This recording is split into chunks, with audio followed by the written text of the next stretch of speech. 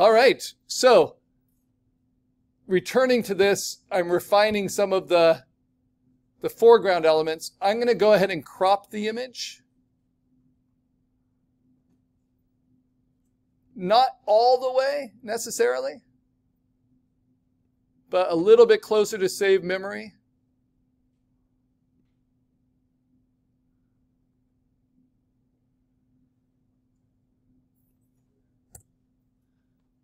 All right, and then save it. And now,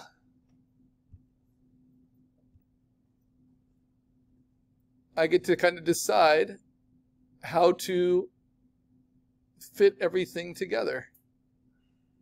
And I still have one element. So I'm going to make this cupcake an extreme foreground element. I want a little bit of that red showing through. So I'm going to hit Command T. You can do this at any time. And I'm just going to warp it a little bit, like so. Maybe tilt it. And now to get it to feel like it's more in our face, I'm going to play with these adjustments. And I actually haven't done it to this element yet. But this time, I'm actually going to exaggerate not just the midtones, but the highlights and the shadows, because as something comes forward, it gets more contrasted. So the brights get brighter, the darks get darker. Color balance is going to be really important here. I'm going to brighten it up. I'm going to add warmth to it. So in the midtones, I'm going to get a lot warmer. You see what the difference that makes. In the highlights, I'm going to get a lot warmer.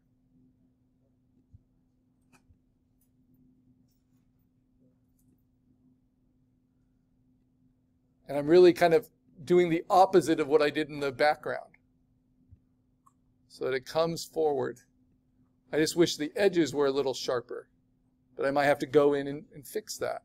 And then when I go to hue saturation, this might be the case where I actually saturate it up a little bit, but not so much it blasts out. Instead of downplaying it, right? I'm actually increase the saturation just a tiny bit. I don't like the toxicity of those sprinkles, so I can just shift the hue a little. That looks a little bit nicer. Right now, how can I clean up this edge? There's really no other way to do it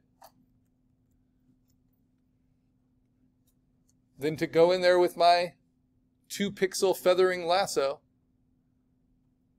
and just cut away. What's nice is it's organic. It's not like I'm having to cut around the cables of a bridge. When you're doing that kind of thing, it's a little tougher. It just is. Now, I try not to zoom in more than 200% when I'm doing this. And right now I'm only zoomed in, I'm not even at 100%. Because you don't want to be so perfectionist about it. That just isn't a good use of your time. So don't zoom in so much and you can see the percentage in the corner. So if I'm zoomed in at 300% and I'm using my lasso here, I'm like barely making any difference.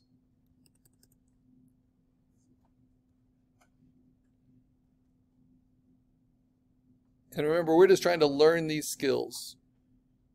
We are not yet getting paid a lot of money for them. So just try to learn them the best you can without being a perfectionist about it.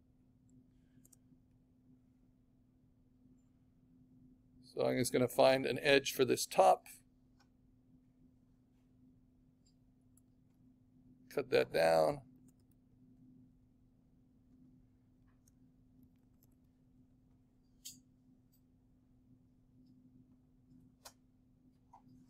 And you can just have fun with it like you were painting it yourself, even though we're using other people's pixels. Find your own edges.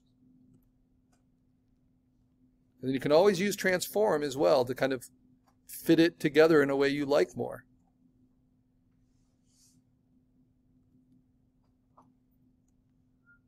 And you only have to worry about what's in the boundaries of your planned sketch. Sometimes students get into cleaning their reference so thoroughly They're doing a lot more work than they actually need to do. So understand what's actually affecting your image. And my sketch ends there. So I don't really need to resolve what's underneath that, even if I decide to move it down a little bit.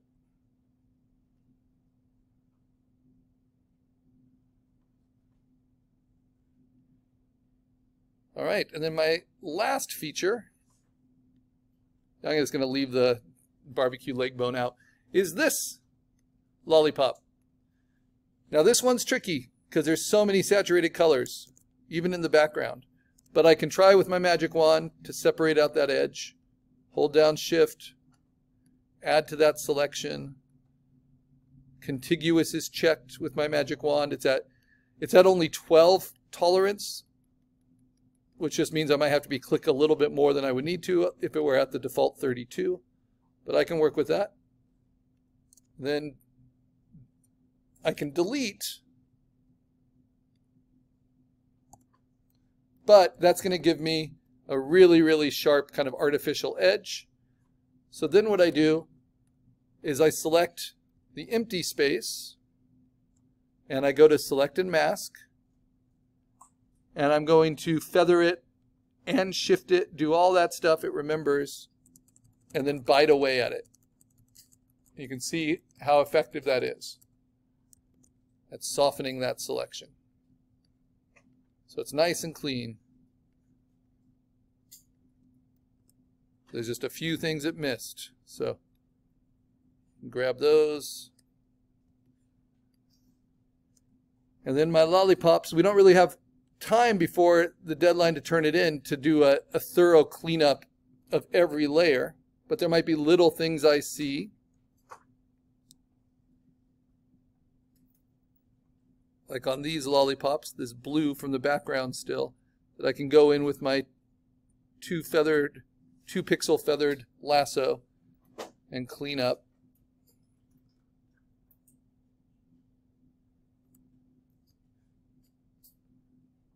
And then there's all this stuff. This is the kind of digital detritus, the kind of mess that really sets amateurish work from professional work. It's just being detail oriented, just like you would in traditional artwork.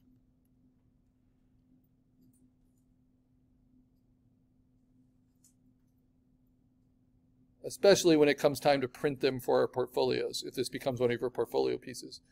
Then we really sweat the details. But very important to get our assignment turned in. Okay, I'm going to show you a trick I don't usually show on this assignment because I need it. I need it on this layer. This is just way too blurry. It's just the photograph, right?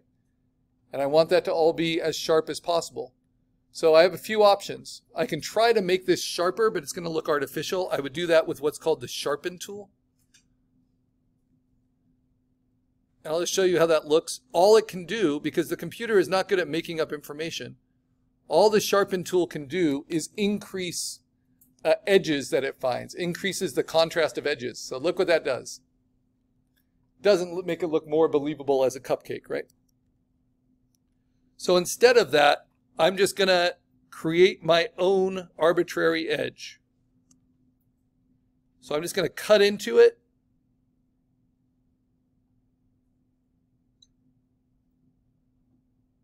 Make my own edge. And if it was really bad, I could always composite something else into it. But that helps a lot. So remember, having overlap allows you then to make these kind of strong creative decisions about what to use and what not to use.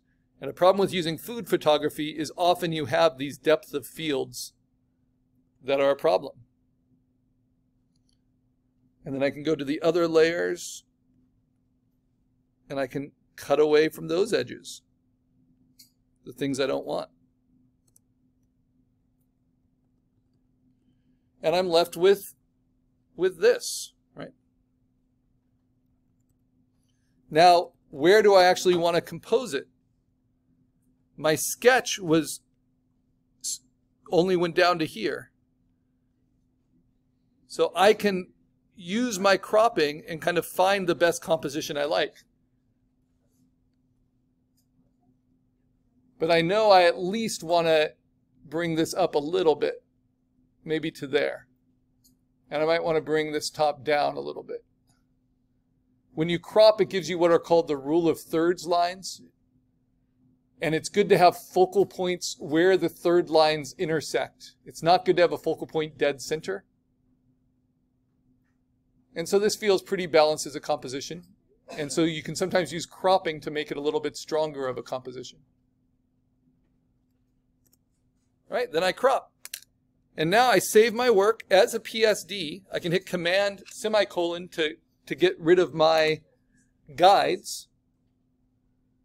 Remember, my guides are there, but they're not going to show up in the image. They're just a tool within Photoshop. And now I'm just going to show you how to save it and put it up to Canvas. So I saved it as a PSD. I know that because when I go to File, Save out of Photoshop, the save is grayed out. Now I'm going to say Save as a copy. And we're always going to save it to our computer, not to cloud documents. Right? That's just a backup you can do into your Adobe account if you want. But always first save it to your computer. And I'm going to save it as a JPEG because it fills the whole rectangle into assignment one or to my desktop. I'm going to go at the largest quality. And now I'm going to check that it's there in my folder. I open up my folder, go to assignment one, and I see my PSD, and then I see my JPEG, which I'm going to march orange. I've already posted my sketch. These are the two requirements. So I'm going to go to Canvas, and I'll help you guys with this.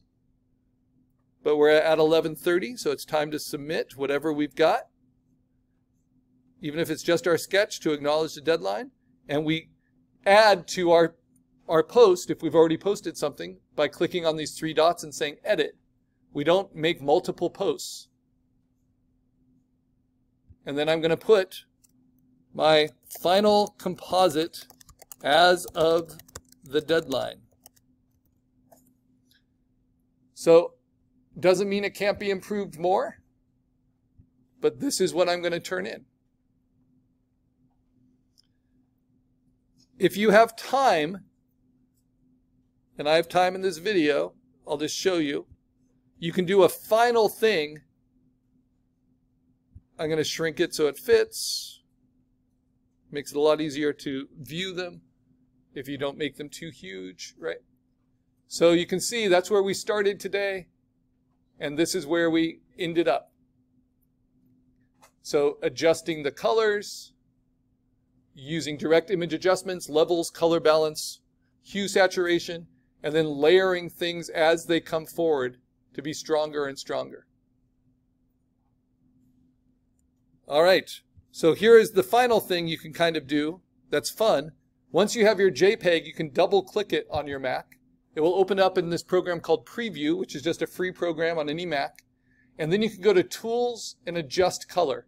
And this is like doing direct adjustments to the whole of the image, right? In a way that's safe because it's not going to hurt your PSD files. So I can click auto levels and see if it wants to balance the histogram in any way. And it didn't make much of a difference to mine, but I can also play with how strong the highlights are. You see how that can build more atmosphere into it? How strong the shadows are or how bright they are. I like them as dark as they are. And I can play with the color balance, the temperature overall. If it's cooler light, warmer light, so you can see how powerful these adjustment tools are. I can add kind of sepia tones to desaturate. And whether you like that or whether you like it originally, it's good to know that we can keep editing these. I also noticed that I have a little bit that's cut off right in that corner. You know, so little details mean that I'll want to come back to that and keep working on it, which is why I'm going to keep it yellow, but also mark as green. That means I've finished it for the deadline, but yellow means I still want to work on it. Because that's my working format. All right? And then that's all we need to do for assignment one. Just make sure you put it in the right folder, you organize it, and then we're going to be ready for our next project. So I'm going to create a folder for assignment two. All right.